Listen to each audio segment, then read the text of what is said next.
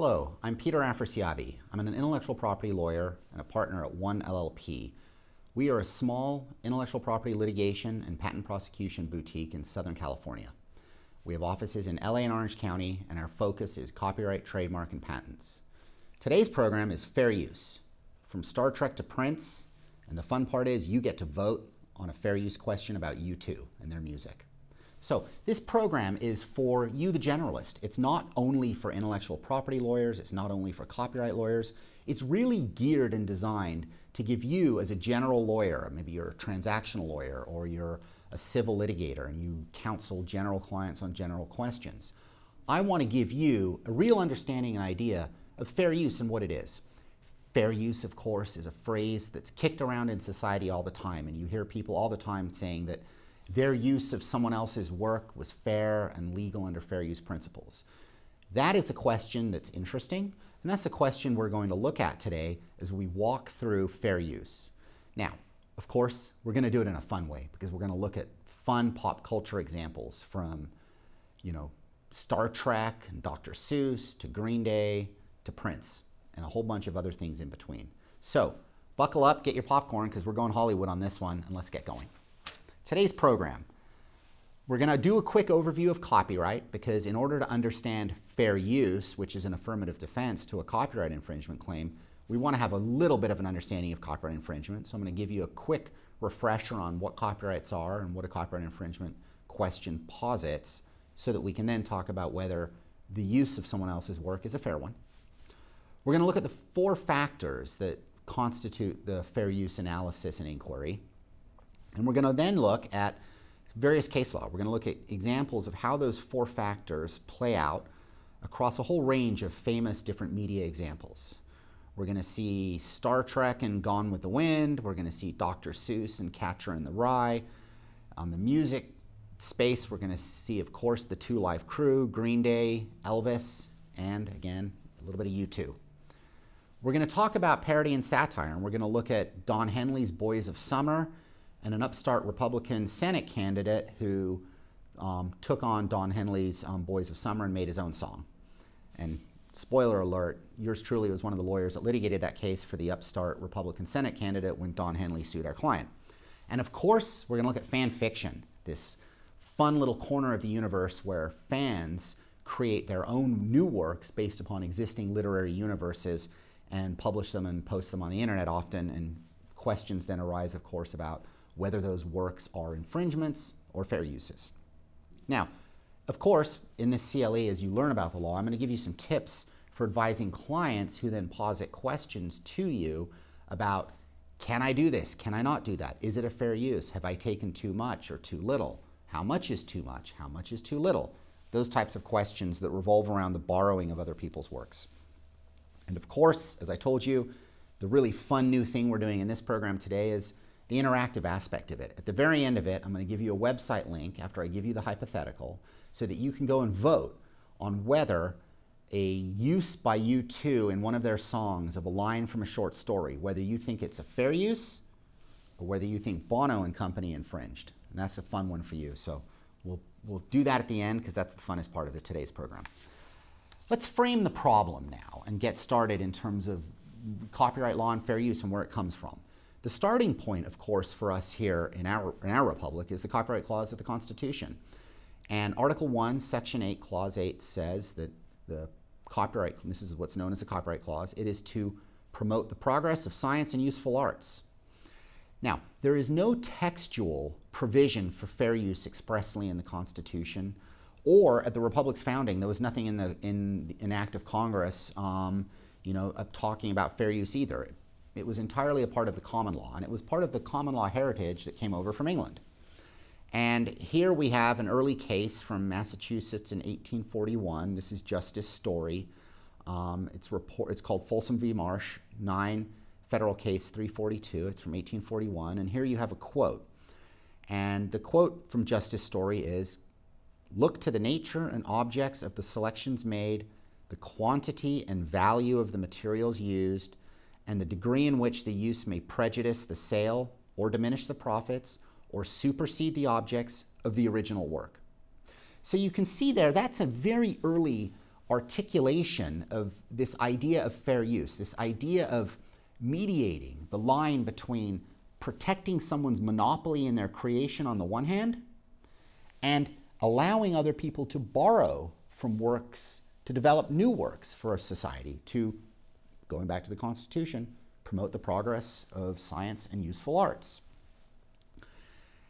Here's another quote from Justice Story. This is our penultimate bullet point. It's Emerson versus Davies, 8 Federal Case 615. This is from Massachusetts in 1845. And here Justice Story talked about fair use, copyright infringement questions, and that line that we talk about mediating the line between infringing versus fair use in these terms. In truth, in literature, in science, and in art, there are and can be few, if any, things which, in an abstract sense, are strictly new and original throughout. Every book in literature, science, and art borrows and must necessarily borrow and use much which was well known and used before. So the question this raises then, and the question that's always raised is, the nature of creative efforts requires borrowing and building upon the historical stock of existing content, tropes, ideas, settings, characters, knowledge, and adapting from those prior works to create new works. And so the question is, how much is too much? How do we, on the one hand, navigate this tension between providing the monopoly that we provide to a copyright owner, the right to control their work. George Lucas created Star Wars. He sold it to Disney. Disney now owns Star Wars. They are the exclusive right holders to the Star Wars universe and the characters. How do we mediate the line between protecting Disney's right to control and patrol that monopoly and not allow people to infringe, and also allow other people to create new works that may build upon or tangent the Star Wars universe in a way lawfully or in a way that are not lawful, right? That is the root question that we get to when we're talking about copyright and particularly fair use. Let's talk really quick about the history of fair use. As noted, for two centuries in our republic, it was a judge made doctrine. I mean, it was literally a common law doctrine that was imported from England at the founding of, of our country and it became part of the, what you could call federal common law. It was just a judicially made doctrine. We saw some of those quotes from Justice Story that courts would apply and use to discern this line between infringement and you know acceptable use of another's work. Now, finally, in the Copyright Act of 1976, which was enacted on January 1st, 1978, but because it was passed in 1976, it's known as the Copyright Act of 76. In the 1976 Act, Congress finally codified as positive statutory law fair use. And here we have in 17 USC section 107 the core language that now decides all of our fair use questions. In determining whether the use made of a work in any particular case is a fair use, the factors to be considered shall include number one, the purpose and character of the use, including whether such use is of a commercial nature or is for nonprofit educational purposes. Number two, the nature of the copyrighted work. Number three, the amount and substantiality of the portion used in relation to the copyrighted work as a whole. And number four, the effect of the use upon the potential market for or value of the copyrighted work. So those are the four factors that had been distilled over the common law history of copyright law in America and were then codified. And so nowadays, when we talk about fair use and the fair use analysis, we are always talking about what is you know, often referred to as this four-factor test. Let's talk quickly first about some basic principles though about copyright, just to remind you. Fair use is an affirmative defense to a copyright infringement claim. And so remember, what that means from our civil procedure is that if you have been found to infringe, so that you have in fact infringed someone's copyright, you can have a get out of jail free card if you can pull out an affirmative defense because an affirmative defense posits that yes, I may be liable under the law, but it doesn't matter for this reason, such as statute of limitations, laches, whatnot. But here, fair use. And so it's an affirmative defense, which makes it very important for us to revisit really quick a substantive overview of copyright at the highest level just so you can properly contextualize fair use. So let's do a quick copyright review for you. Copyright gives the author of an original expressive work certain exclusive rights with respect to that work. And that author has the following exclusive rights under the U.S. Copyright Act. This is Section 106. The exclusive right to reproduce, that means to make copies of a work. The exclusive right to reproduce. Number two, the exclusive right to make derivatives. What that means is to adapt, create new versions of that original work. So think Star Wars. George Lucas made Star Wars. He had he owned the copyright, which means he had the exclusive right to make reproductions of the movie, you know, make DVD copies or you know, make new 35 millimeter literal copies to deliver to the movie houses to play. But he also had the right to make derivatives, which is to then make sequels, The Empire Strikes Back, and then you know the, the 20 odd sequels that have been made since then. Copyright also gives the author of an original work the exclusive right to publicly distribute copies of that work. It has a public performance right for songs and movies and plays as an exclusive right of the, of the original author of that work to do a public performance of the work. Number fifth, public display right. And number six, for sound recordings, there's a public performance right to you know, perform publicly those sound recordings. If you violate any of those exclusive rights, that is an act of copyright infringement.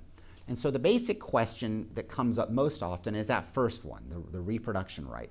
Have you, or the derivative right, have you reproduced someone's work in a manner that is not fair use and so infringes copyright? And the test is always one that's known as substantial similarity. And so if you make a literal copy of Star Wars, obviously it's substantially similar to the original. And so that's a violation of the reproduction right. If you take snippets of it out and put them into some whole other work that you've made, the question raised would be whether that new work you've made that may have a few snippets of Star Wars um, is substantially similar to the original one. And if you take the snippets lock, stock, and barrel, it's probably going to be a problem for you. Now, tripping the line, though, of copyright infringement is what gets us to this question of fair use. You know, when is it acceptable or okay under our societal copyright norms to borrow from someone else and use their work to create your own new work where you recognize that, yes, I took from that work, but it's an acceptable use because I am myself now engaged in something different that's not copyright infringement. It's lawful borrowing, in effect, is what we're talking about. And so now there's again our slide of the four fair use factors, if you just keep them in mind, because we're going to go through all of them in detail now. So let's talk about, on our next slide, fair use factor number one, the purpose and character of the use. So, as you see from the statutory language, I mean, nonprofit educational purposes are generally favored over commercial uses. And so there's a kind of a spectrum. If you are engaged in a commercial endeavor using someone else's work, it's more likely that that first factor is going to put you into the non fair use camp. If you're further down the spectrum in sort of nonprofit educational uses, it's more likely that you, that first factor at least, will get you into the fair use camp. Now, there are many purposes that are especially appropriate for a fair use finding when you're looking at the purpose, purpose and character of the defendant's use, this new work's use. And the types of things that find refuge in fair use findings are criticisms, commentary, news reporting, teaching, scholarship research. Now, here's the point though, and this is a first practice pointer. There are no bright line rules really when it comes to fair use, and this is why it's so difficult for you advising clients because even a nonprofit, you know, a perceived nonprofit educational use by a professor of materials can actually sometimes not be found to be a fair use, um, you know, result. And so there's been a whole history of what are known as course pack cases, for example, where um, publishers sued schools and universities and even the faculty for putting together course packets, you know, where they would take a photocopy of a chapter from this book, you know, maybe this short story here and some other material from there, compile it into a course pack, and then the students buy the course pack.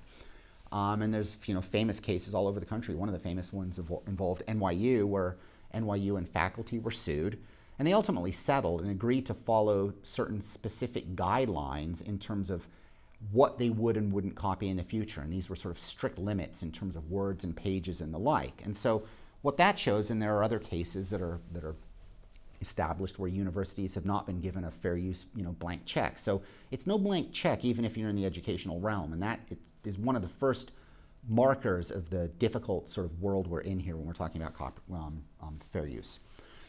now, ultimately, within this first factor, the central inquiry that courts always look at is what's known as transformative. Is the use that you've made of someone else's work transformative? And what that means is you're not merely reproducing something, um, you are transforming it into something new, where there's new utility, new meaning, where maybe you have a quotation incorporated into a paper or it's commentary or criticism of the original. And so the types of things courts look for to figure out if a use is transformative is whether it furthers the purpose or different character in the defendant's work, i.e., the creation of new information, new aesthetics, new insights, new understandings whether there's genuinely new expression or meaning or message from the original work into the new work, so that there's massive additional value that's being used in this new creation, as opposed to just taking the old and making a few tweaks to it, for example. You know, the question of whether quoted material is being simply used as raw material or building blocks to build something genuinely new, or are you just repackaging someone's work in some new, new and different way, but really it's just a repackaging of the same thing. That's the first factor. So let's go to the second factor, which is the nature of the copyrighted work. And the inquiry here fundamentally is looking at the plaintiff's creative work. What's the nature of their work that's being borrowed from? And this then puts, on, puts us on the spectrum between is the plaintiff's work, the, the work that's being borrowed or copied from, is it a highly creative work at one end of the spectrum, such as you know a, a piece of fiction, um, a book, a novel, a play, a poem, a movie, or is it more fact-based, sort of further down at the other end of the spectrum that has more limited copyright protection, such as you know I mean a history book giving you a bullet point history of the American Revolution, for example, has a thinner copyright than you know, a, a, fictional account of just some murder mystery set in the American Revolution, obviously. Um, the other question that we look at here is, you know, is the work, the original work, unpublished or not? And if it's unpublished, then that weighs against any finding of fair use because now the alleged fair use defender who wants to claim refuge in it has taken someone's unpublished work they haven't even had a chance to publish and has sort of made use of it publicly. And so fundamentally, the fundamental rule of thumb here is that when you're balancing this factor as you do your fair use analysis, courts tend to give greater protection to creative works. Um, and so, you know, the more creative the work, the more likely it is to not allow the bar, not allow borrowing and to not give someone a fair use finding. Let's go to the third factor, which is the amount or substantiality of the portion used. Now, here what's, here's what's critical is that the law doesn't set quantity limits. I mean, it's generally true that the more you take, the less likely there is to be a fair use finding. But there is no sort of rule of thumb, and this is one of the urban legends out there that you often hear from, I hear it from non-lawyers, but I also even hear it from lawyers alike who are not copyright lawyers, that you know, some idea that oh, if I take less than 10%, it's per se fair use. And this is just not true. It's not a qualitative and quantitative per se test. It's this balancing act and blending. And so while it's true the more you take, the more likely it's not fair use, it doesn't mean that if you only took a little, it's no big deal. Um, I mean, a great example to think of there is the famous case involving Gerald Ford's memoirs. Um, and his memoirs, you know, were to be published, and it was, you know, I don't know, 25,000 odd words. And, you know, the only words in the book that really mattered were the three or 400 words where he explained why he pardoned President Nixon. And that's, you know, at root, that was all anyone really seemed to care about coming from Gerald Ford's biography, it seemed. And so, you know, when those words were taken and republished, the, the publisher sued and said, you know, you know, you, you took those words. And part of the defense posited was, we took, you know, 300 words out of 25,000 or whatever. I mean, it was like less than a fraction of a percent. And the court said, it's, it's not a quantitative analysis. It turns out you took the heart of the work. The only thing that really mattered was why the guy pardoned President Nixon, and that's what everyone wanted to know about. And so you took the heart of the work. And so you actually took everything that mattered. And so that's what shows you this sort of delicate balancing act there. Um, another example you can think of is that thumbnail images um, have been held to be you know, low resolution thumbnail photographs in Google search engines have held to be a legitimate taking, fair use use. And so even though it's a reproduction, when you do a Google search and someone else's photograph comes up, Google has reproduced that photo to show it to you on your search. It's a low res thumbnail image, and the courts have said that because it's serving this search and indexing um, function, um, that that use is a fair use.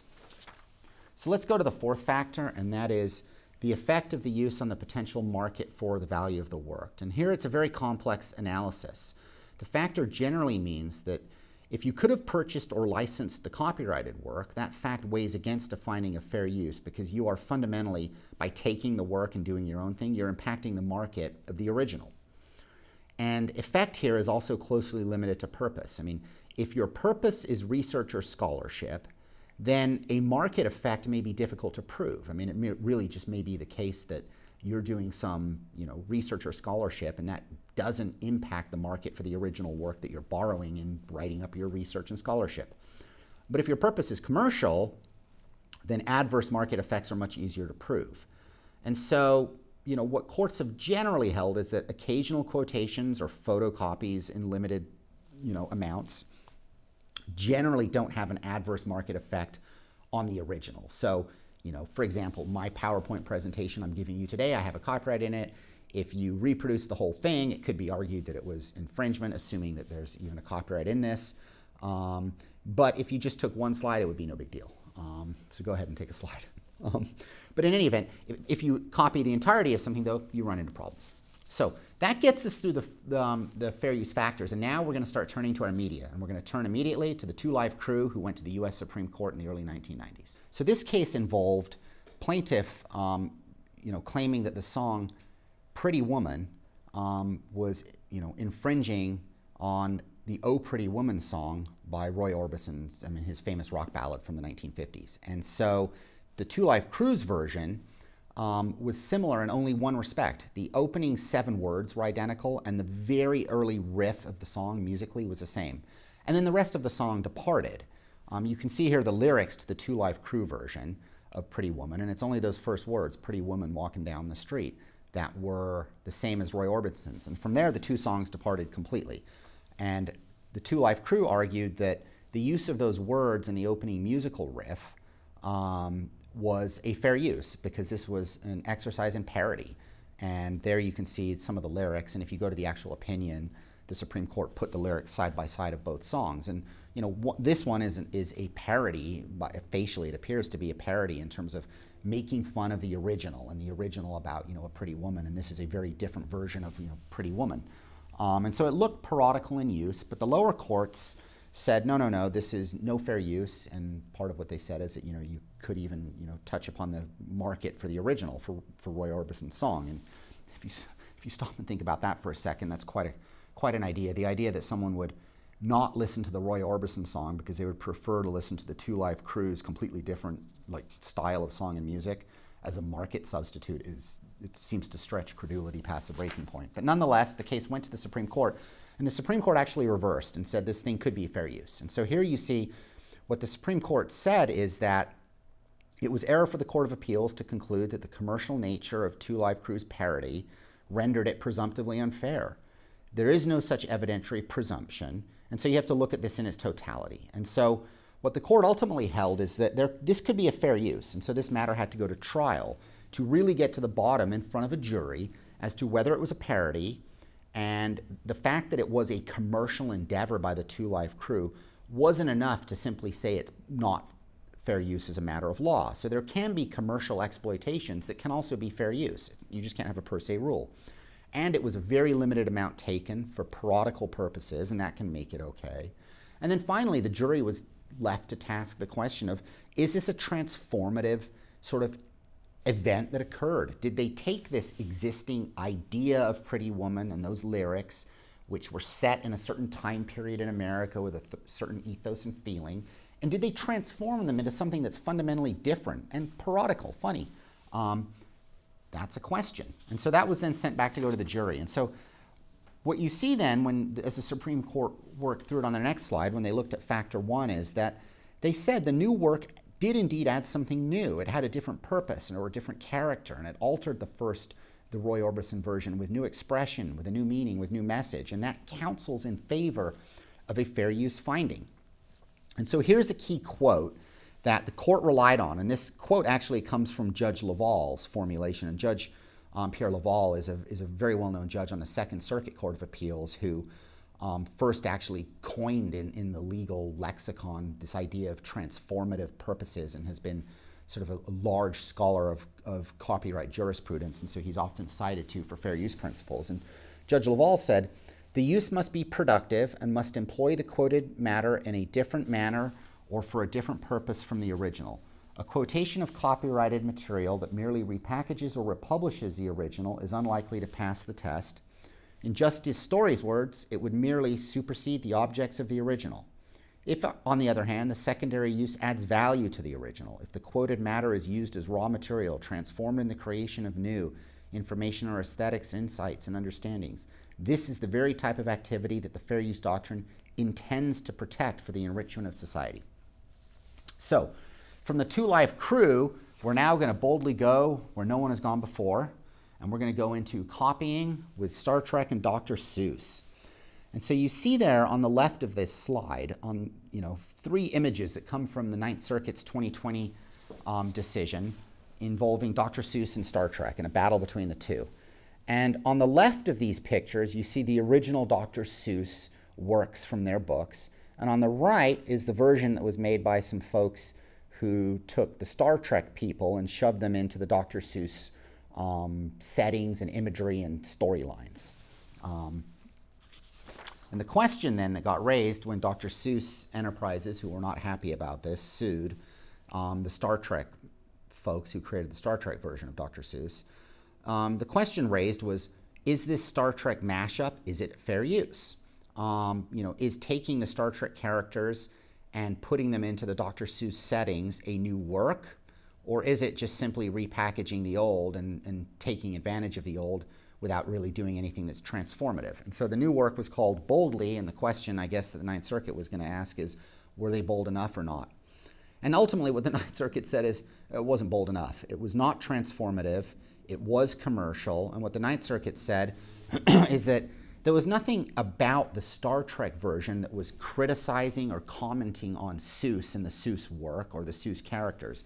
Instead, it simply took the Seuss settings and backdrops and shoved in this, these Star Trek elements of, you know, you know, Spock and um, you know Captain Kirk and the like, and substituted them into this Dr. Seuss world. And that doesn't create new meaning or understanding or insight or a message to the original. And so it wasn't transformative. In other words, what the court said is they simply recontextualized the original by plucking the most valuable parts of the original out and then you know, wrapping them around some other characters and then trying to claim, claim value in it. Now, importantly, the Ninth Circuit also said this actually did cause, could cause market harm because a non-transformative commercial use possibly leads to market harm. The court said it didn't have a presumption, but the language seems to create a bit of a presumption. Um, and part of what the Ninth Circuit said is that the original author's right to create derivative works, right? You remember that second exclusive right we talked about? That is infringed when these folks have gone out and done this. Because if Dr. Seuss wanted to take his settings and and scenery and you know lyrical cadence to the to the kind of poetic um, you know lyrics in the Dr. Seuss books. If he wanted to set those to the Star Trek world, he could have. That would have been his own derivative work, and now he had lost that market, and so that can cause market harm.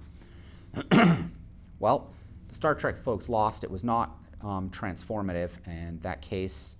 Um, we will wait to see what happens. There's a cert petition that is pending, and as it turns out, our law firm is involved in the cert petition on behalf of the Star Trek side of that to see if the transformative holding can be changed.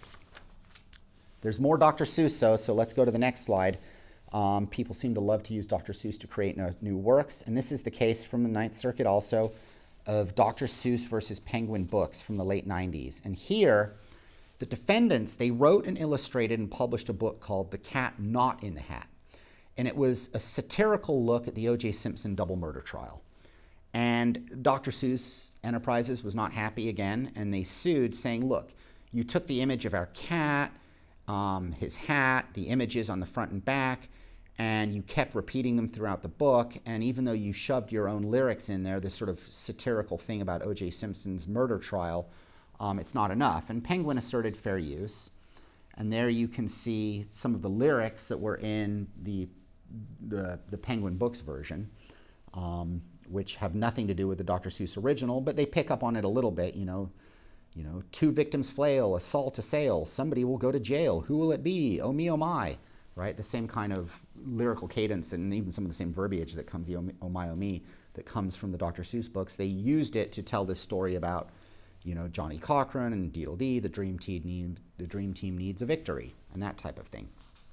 And so in any event, that goes to the Ninth Circuit, and the Ninth Circuit said there was no critical bearing on the substance or style of the cat and hat just because they used the same kind of cadence and style and shoved it into an O.J. Simpson story. They didn't need to use the Cat in the Hat logos or the cat's pictures to get any attention. They could have just told their O.J. story without any of it. And that was part of the problem. They seemed to be using the Cat in the Hat's imagery and, and even a couple of the lines in order to trade off the goodwill and value of the Cat in the Hat to get publicity value for what would otherwise have just been, you know, perhaps just a silly poem about the O.J. Simpson trial.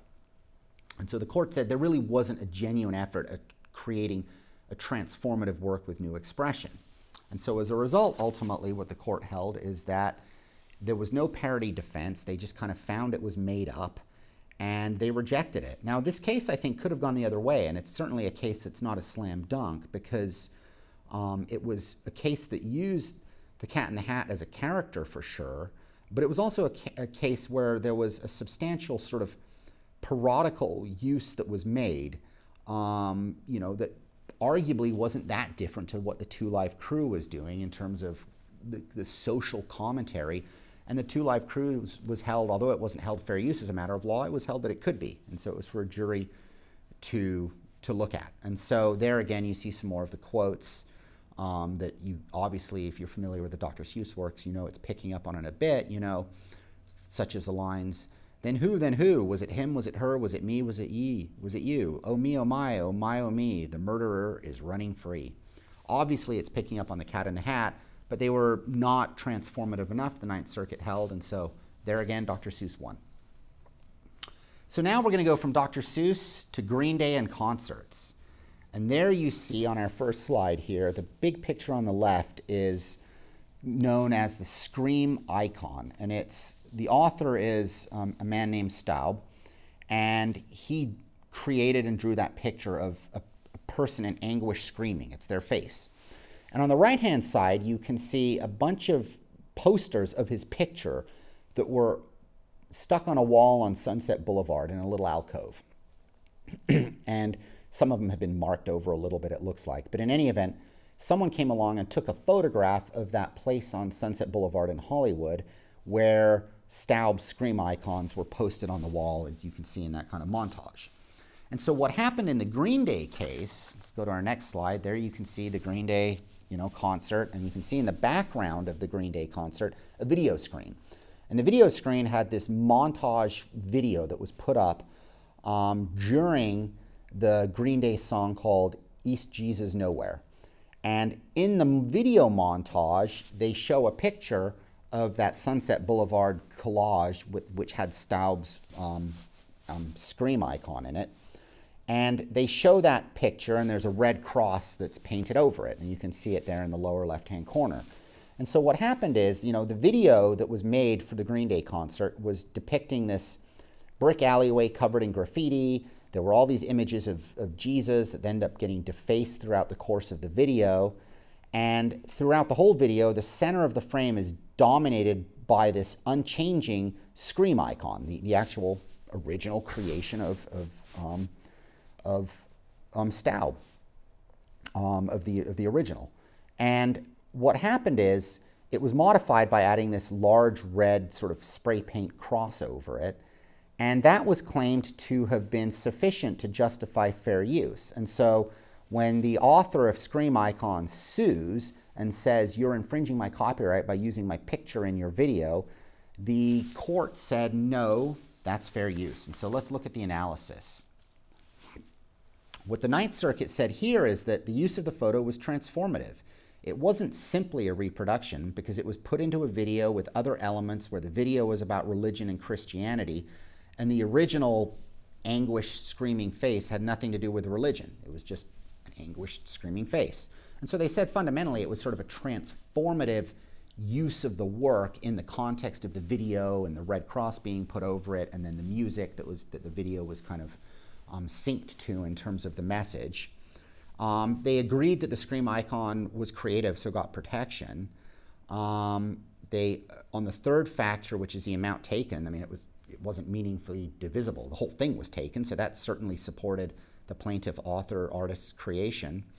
And the fourth factor, the court said, I mean, it was incidentally commercial. I mean, the, the concert wasn't marketed, the video wasn't sold itself per se, but it was at a commercial venue where Green Day was obviously earning a lot of money to play their concert and, and, and show that, that work, the video. Um, but nonetheless, fair use was rejected. And here's what's also really important about the case.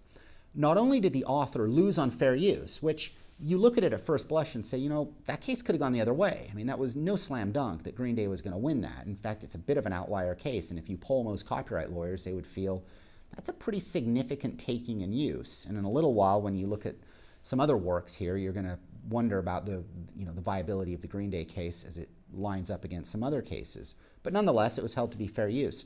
But what was really damaging was the plaintiff, the creator of the Scream icon, also was told he had to pay $200,000 to Green Day to pay their attorney's fees because he dared sue them for copyright infringement.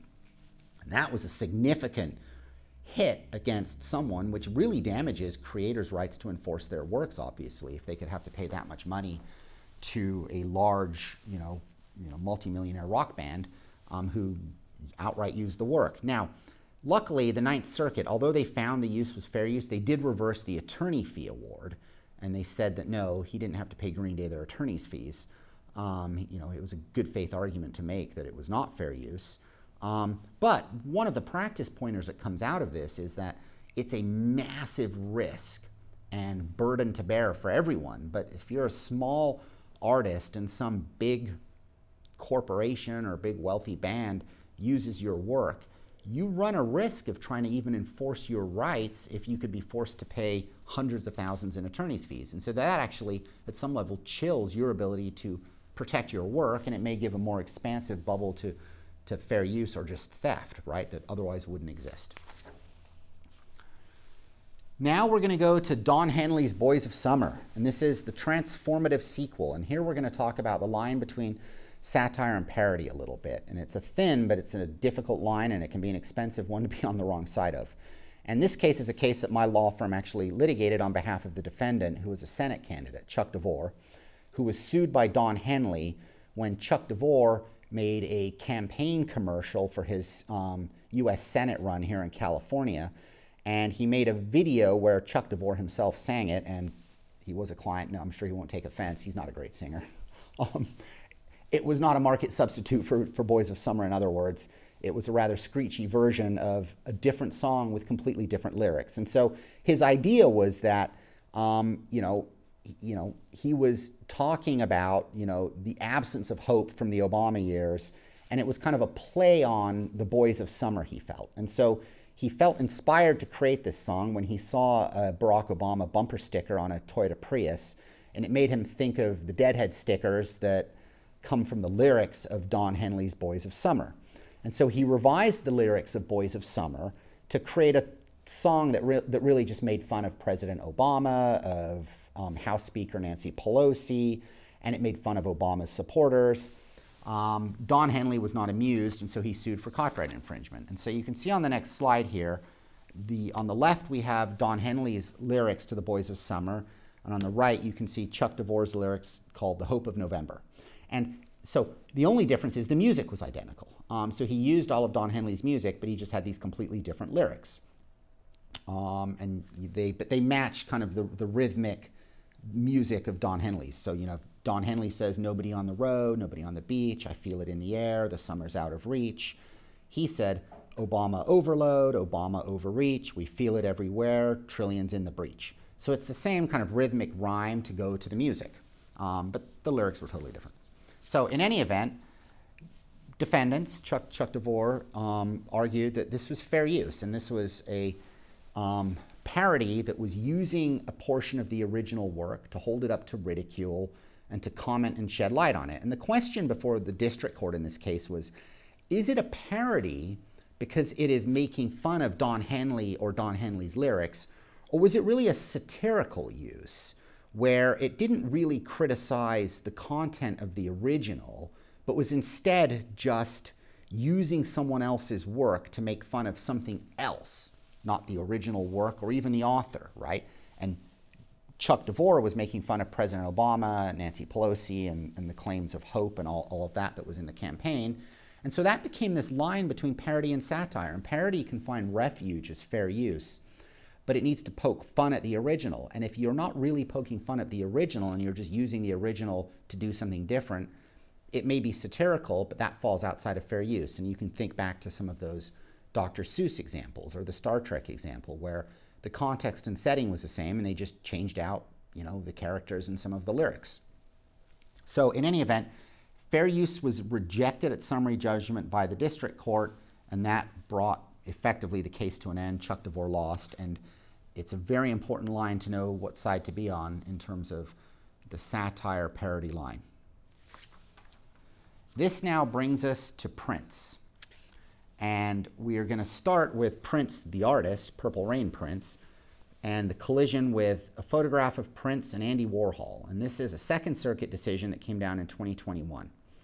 And so you can see here um, on our pictures on the right, the top picture is a photograph, portrait photograph taken of Prince by a photographer, and it was one of a series of photos taken in the 1980s, and then one of them was um, licensed to Vanity Fair to go in a Vanity Fair article or a Rolling Stone article, perhaps it was, just on Prince.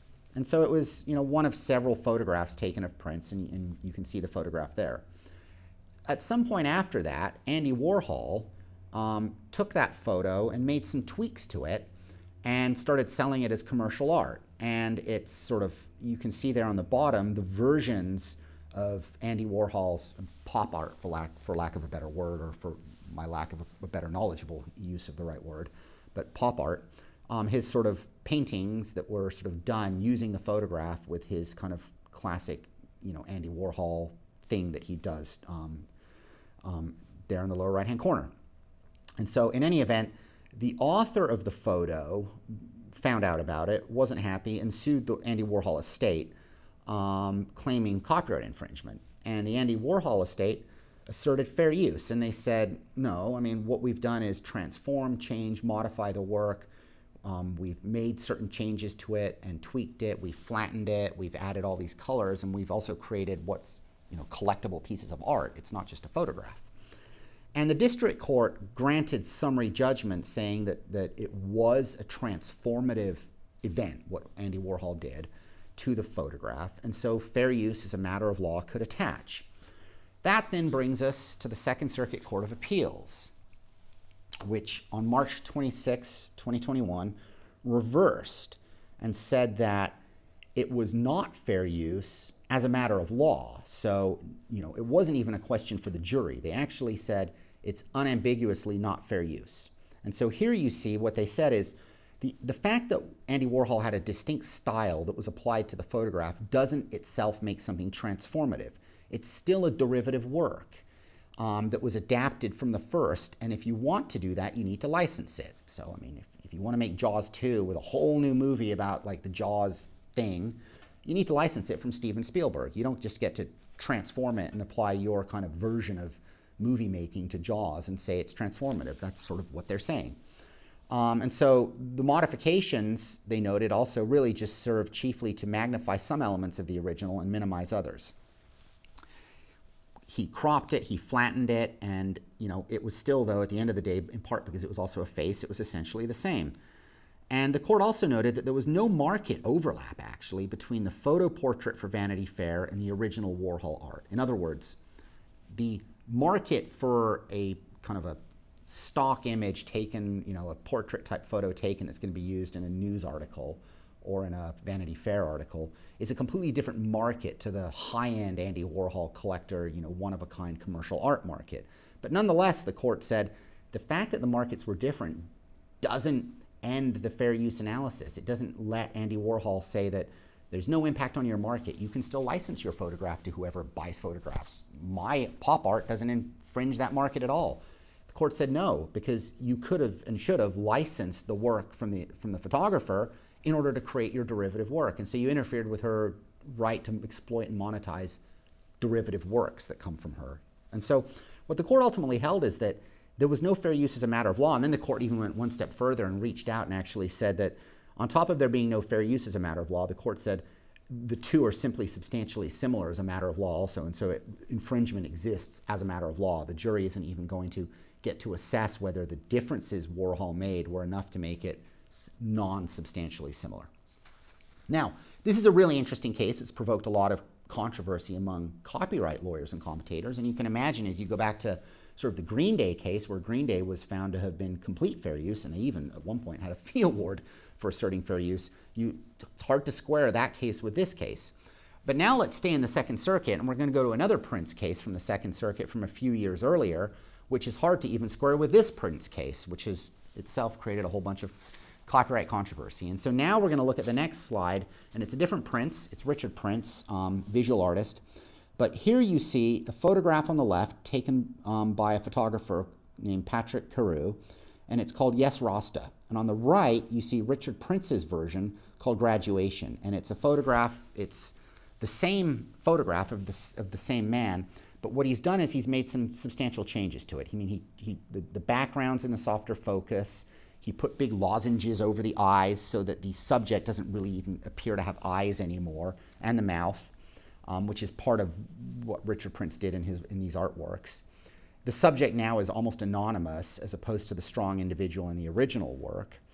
And then he, you know, put this electric guitar pasted onto the canvas in that blue, you know, bright blue color. So it looks like the subject's not even really human, um, whereas the original, it's a decidedly sort of human subject in the natural habitat.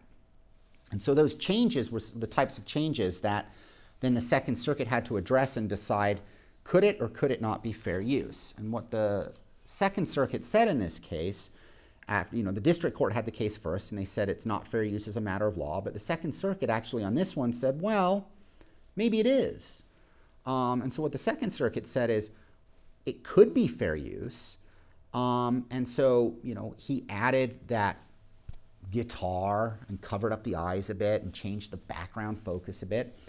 That may or may not be fair use. A jury needs to figure it out. And so it was sent back to go to trial. And so you can see immediately now these two Prince cases have, are very hard to reconcile within the, the Second Circuit. The more recent one involving Prince, the artist's photograph, they went to great lengths in the opinion to try to say, no, no, no, we're not we're not you know ignoring that first Prince case, the Richard Prince one, but it's very hard to reconcile the two given the changes being made to one which were held to be non-fair use as a matter of law and one which the court said it could be fair use. So from there, let's just run through a few quick examples of some other works to give you some more context about whether something is transformative or not, because the key line in fair use is getting to the bottom of whether the, the new work is transformative. The first case is the Monge case and it's at 688 F third. And here's the quote coming from page 1176, but it dealt with a magazine that had published some photos of a secret wedding of a celebrity. And it simply published the photos. And the celebrities who were frustrated that their secret wedding had been photographed and then published sued for copyright infringement. And the, the magazine publication asserted fair use. And the court said, no, it's not fair use. I mean, you didn't alter anything there at all. Those were simply um, photographs of a wedding that you, you know, got a hold of and you shoved them in your magazine. And that doesn't change the expression, the meaning, the content, the message of those photographs. I mean, if you want to take the photographs of the celebrity and do something with them that's transformative, you need to do more than just reproduce them into an article that talks about the celebrity's wedding. Um, and so that kind of a use of a photograph, even if you wrap it around some, you know, People magazine type article that's doing celebrity talk, you know, so and so got married on this day. It was a secret wedding. It was attended by 500 guests, and it it reads as like news reporting. That doesn't let you then take the photographs of the wedding, shove them in there, and claim fair use. Um, it's not going to be transformative. And, you know, to the extent there is a mark, I mean, if they're secret, that makes it all the more, or, or private photographs, it makes it all the more likely that you're not going to find fair use. But even if they were authorized photographs, they're the types of photographs that the celebrities could license to particular outlets, maybe Vanity Fair, for a lot of money, who would be able to publish them and would pay a lot of money to be the only magazine with the exclusives. And so a direct and distinct market harm is occurring to the commercial market for those photos. The second case here involves Elvis, and this brings us to our Elvis story. And here we have Elvis Presley Enterprises versus Passport Video. It's reported at 349 F 3rd, 622, and this is coming out of the Ninth Circuit again in 2003. and here what happened is, um, you know, Elvis had made a bunch of television appearances and a, you know, and, and there were a whole bunch of clips with Elvis, and they were played um, without any interruption and serving the same intrinsic entertainment value by a defendant's new work that they created. And so it was simply taking a bunch of Elvis clips, stringing them together, and then saying that here's a new work I'm making. It's you know Elvis performing or appearing live, and you know the argument was made that it was transformative. Um, and Passport Video, the defendant there, lost to Elvis Presley Enterprises because it was held that it's not transformative. You can't just simply take a bunch of someone else's copyrighted content, string it together, you know, even without much interruption, and you know, serve the same value of serving the commercial master of trying to monetize someone who wants to see Elvis play live, which is exactly what the plaintiff does with its content of Elvis, the, the, the, the inheritor, obviously, entity that owns the rights to the Elvis Presley content. Um, so, no, it's not transformative as a matter of law. And the third one we'll now talk about is in the news context, and so you'll remember that sort of, you know, in our beginning discussion about fair use factors, news type commentary on matters is, is given more leeway for fair use findings. And this case then involves LA News Services suing CBS. Um, and again, this is 305 F3rd 924, and this is coming out of the Ninth Circuit again in 2002. And what really happened here is that, um, you know, CBS took nine minutes of footage and just the best nine footage, nine minutes of some arresting footage, and just played it. And you know, LA News Service, LANS, the acronym, was unhappy and said, you know, that's our copyrighted content. You don't get just to take nine minutes of the most valuable footage of that event that was being filmed, play it in your news hour or news story, and claim fair use because it's wrapped around news. And the Ninth Circuit said, yeah, that's right. I mean, you took the most valuable part of it, and it was an extended part of it for nine minutes. It was visually arresting, even, um, and nothing was added to it. I mean, so it wasn't a snippet of the video, which then led to a sort of maybe a panel discussion about what was going on in the video, which may have been a fair use of that snippet. It was just really a way to repackage and take some footage someone else had that was really valuable and not pay them a license fee. And so, no, that's not a transformative use, even though it occurred within the context of legitimate news reporting. Now, the next two we'll get to are examples on the other side of the line where we have transformative use findings. And so the first one is the Billy Graham Archives versus Dor Dorling Kindersley Limited. 448 F 3rd 605. This case comes out of the Second Circuit in 2006, and it involves the Grateful Dead. And so what happened is someone created a book on the history of the Grateful Dead. I mean, just sort of a narrative history about the Grateful Dead and their history as a rock band, um, the cultural pop events that occurred around the Grateful Dead and the like. And inside that book that the person wrote, it was their own original content, writing about the Grateful Dead, which they had First Amendment right to do, obviously, to write a book about the Grateful Dead. They used some imagery, some Grateful Dead imagery, some of the Grateful Dead's posters. Um, um, in the book. And they were then sued for copyright infringement, and they said, no, it's fair use. We were, yes, it's true we took some of those concert posters and reproduced them, um, but we reproduced them as more as um, you know historical artifacts to help tell the story of this history of this developing history of this band, and it wasn't for artistic expression or promotion of the of the concert posters as items in commerce. It was sort of small reproductions of them. And the court said that's an example of a transformative use because it's being used to comment on, tell a different story, transform and tell this story about the Grateful Dead's um, history without interfering with the market for the original. Finally, we'll look at Blanch versus Koons, 467 F3rd 244, again from the Second Circuit in 2006. And here we had um, a plaintiff had a fashion photograph of a pair of women's legs, and it was, um, you know, just fashion photographer who'd photographed a pair of women's legs. And an artist went and took that photograph and altered it and tweaked it and incorporated it into a larger work of art. Um, that was sort of a bigger piece of artwork. It was no longer just a photograph of women's legs used to, you know, serve some commercial purpose of like selling shoes or pantyhose or whatever, right? Um, the court there said, no, it's an artistic work and it transformed it because it was part of a larger work and that was transformative. This brings us to fan fiction. What is it and is it fair use? And so there you see pictures of fans' depictions of superheroes where they put the superheroes in new settings. Um, maybe they're lovers when they were not lovers in the original, or they change them and put on sort of, you know, like a Jedi robe over a Harry Potter, Potter character and the like. And so the issue of fan fiction is when fans go out and they want to write about existing literary universes or characters and do something completely different with those characters. It's never been done by the original, and then publish it. And there's this whole fantastic trove of fan fiction on the internet, much of which is because it's not being sold or made commercially available. A lot of content houses have an uneasy alliance with it, but they leave them alone because they're odes by the fans to the originals. But sometimes fans go too far. And so the first case is Salinger versus Colting, and this is a Second Circuit case, and this was the unauthorized sequel to Catcher in the Rye, and so it was called 60 Years Later, Coming Through the Rye. And it told the story basically of what happens to Holden Caulfield decades after the events of The Catcher of the Rye. And it was, you know, the, the, the, author of this new work wrote a whole plot and story using his own words, nothing from the original other than the character from the original, and, and the title obviously was taken in part. And so it, it was from the original's universe, it was just set 60 years later. And the court said just because the original had never created a sequel and had never written a book about what happens to Holden Caulfield 60 years later, doesn't mean you get to. That's not transformative. That's just taking someone's character and creating a derivative work. Now, let's pivot to the next example. This is from the 11th Circuit, and this brings us to the Gone from the Wind. Here, someone wrote a book called The Wind Done Gone.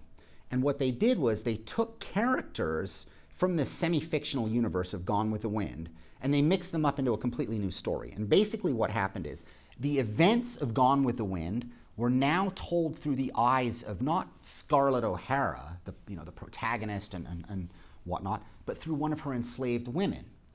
And the purpose of this was to shift the narrative perspective from the original, um, which gave this sort of like wonderful view of the South, and you know there wasn't this like brutal view of slavery and the abuse um, of people in the original. It was sort of this kind of romantic story where you know slaves were just part of it, right? This was a brutal rebuke telling it from the perspective of one of those slaves about how no, this isn't some sort of noble, wonderful love story. Um, you know, our perspective is completely different.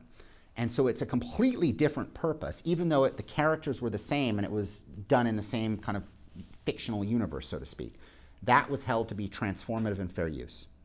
Now, finally, the, the last one is a Star Trek one again, and this brings us to someone who wrote a story about um, the Klingons and some little battle in some like small corner of the Star Trek universe involving the Klingons and a whole story about them. And it came out of some snippet from one of the Star Trek episodes that made reference to this kind of Klingon world and what was going on, and nothing ever was done with it, and so these people decided to go do something with it. And that's more like the Catcher in, in, in the Rye example, in that they were using existing elements from Star Trek, kind of the universe, the Federation, the Klingons, and they were simply now just telling a cool story in that universe without transforming. If they'd wanted to transform, perhaps they should have done something completely different, turning the whole Star Trek um, motif on its head, right? Doing something like the example of Gone with the Wind we just talked about.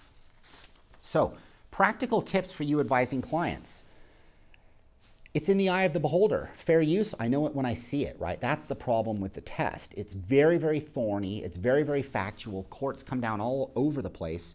We've seen opinions that are hard to reconcile between the Ninth and the Second Circuits, and then even within the Second Circuit, you can't reconcile the opinions. And so, what this means for you as a lawyer advising clients is that it is very hard to ever tell a client that, yes, you're okay, use that work, it's fair use as a matter of law. Those types of letters are very, very hard to give.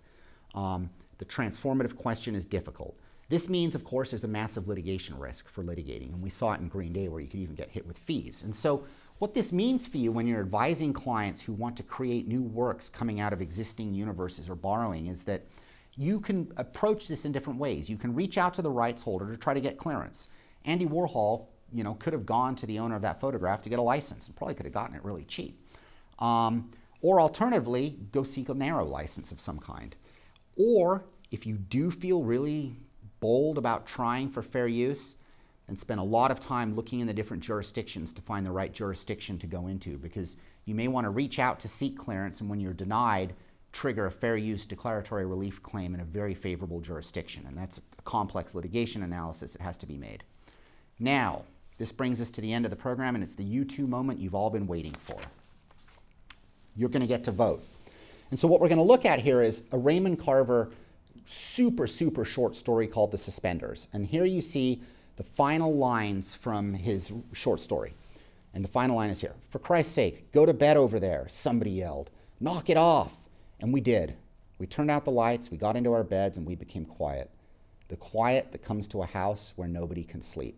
So if you Google Raymond Carver Suspenders short story, you can read it. It's only a few paragraphs long, and it's a really fantastic story about a boy who has to wear suspenders to school. He doesn't want to. He's then fighting with his mom. He has an alcoholic dad that starts yelling at him to be quiet. He gives soapy water to the dad. This makes the dad yell more, and they're all fighting. And then a neighbor yells to them, you know, banging on the door as you saw there, be quiet, be quiet, and they become quiet. But it's a quiet that comes to a house where nobody can sleep. This is sort of an angry quiet that's not peaceful and it's filled with resent. And that last sentence is so powerful in the short story. You can feel the resent right? Well, now let's go to U2. U2's song Ultraviolet, Light My Way. Um, they include the line, There's a silence that comes to a house where no one can sleep. And you can listen to the song or you can um, go read the lyrics to the song if you're not familiar with it. But the basic idea in, in Ultraviolet, in U2's song, is that it's a song about love and dependency. And Bono has admitted publicly that that line came from the Raymond Carver short story. He really liked the Raymond Carver story, and the line stuck with him. It's a powerful line. And so he wrote this song Ultraviolet that's about love and dependency and, you know, it's not about resentment or anger and it's more about sort of a lost love provoking sadness and that's the silence that comes to a house where no one can sleep. And so his concept is is, is different. And so the question now you have to answer is is Bono's use, is U2's use, a fair use or is it not? And you need to look through and think about the cases we've talked about today and ask your yourself, you know, is it a, does it serve a transformative purpose? Was the character of it changing? Is it doing something different? Um, is it taking, it's the last line, it's probably the most important line, but is it being divorced and altered from the original in a way that's transformative? Or is it just taking the heart of it and just putting it in a new setting with something else so that it's not? Um, you know, how much was taken. We have that amount substantiality question. Is there an effect on the market for Raymond Carver's short story if Bono does this? Those are the questions that are in your mind. And so, what I want you to do is go to onellp.com forward slash fair use. And I've put up the hypothetical there for you. You now get to go vote and you get to see how everyone else who's ever taken this class and thought about the U2 question has voted. And you can figure out where you line up compared to the population of viewers thinking about fair use questions on whether it's a fair use or whether our friends at U2 are have an infringement problem. You vote, you're the judge, see if you're in the majority or the dissent. Thank you for your attention today. Good day.